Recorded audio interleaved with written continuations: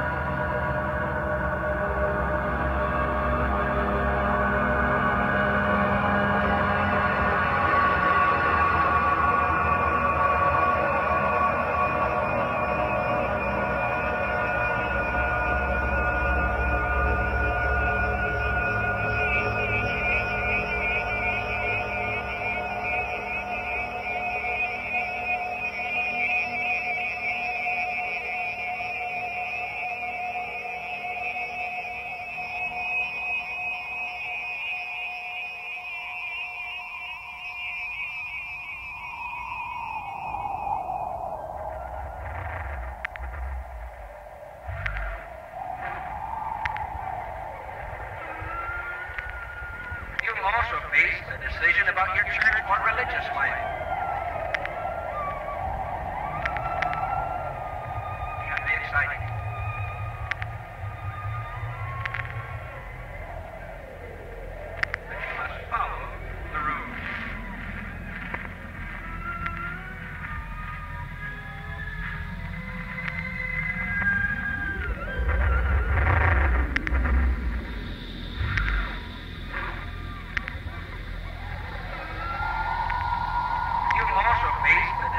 About your church or religious life.